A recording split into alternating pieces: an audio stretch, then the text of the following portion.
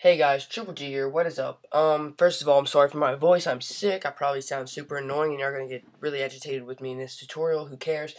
Let's get started, um, I'm gonna teach you how to make a bomb whistle, or like a dropping, uh, really fast dropping sine wave is basically all it is. Um, let's go ahead and get started. Go and open up a new track, and click on the in and out slot, hold it down, go down to ES2 and open it up you're going to need a, a sine, a plain sine, um, like a plain sine preset, I guess, to do this. So go ahead and um, pause the video, copy these settings down, or go to another tutorial um, and to figure out how to get a plain sine. If you make a lot of dubstep in house, you should probably already know how to do this because um, a lot of basses you start off with a sine wave to make.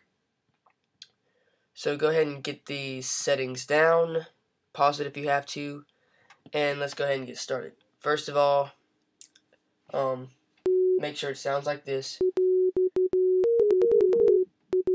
And if it sounds like that, then so far you're doing good. Go to the first one where it says target off. Go to pitch 1. And it's going to do that. To make it sustain longer, you're going to go to decay and turn it up on each one.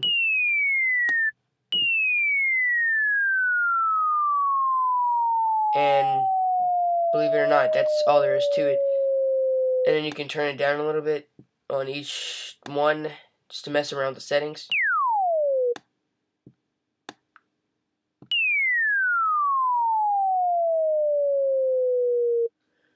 And um, yeah, you can screw around with that uh, to get to get it to the exact how long you want it to um, hold out. And also another way to um, get that, like, to do with, with the decay, you can come down here and find decay right here. And then...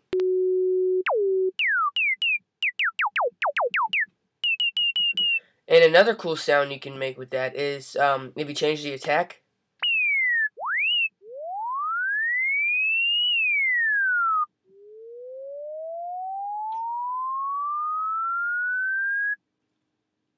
So, um, mess around with that. Mess around with all these things with the with the cutoff, detune. De well, detune. All that's gonna do is make it like. Watch, I'll show you that right now. Well.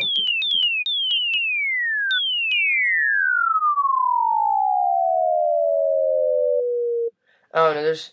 It's not really doing much with this, but uh, yeah. Mess around with all the settings. Get it sounding like. Um, hopefully you learn a few things in this tutorial so you can make even more sounds. Uh, if I helped you, please comment, rate, subscribe. And if you have any tutorials you would like for me to make, simply suggest them, PM, me, PM them to me, or comment on one of my videos. And I will try my best to make it. Thank you.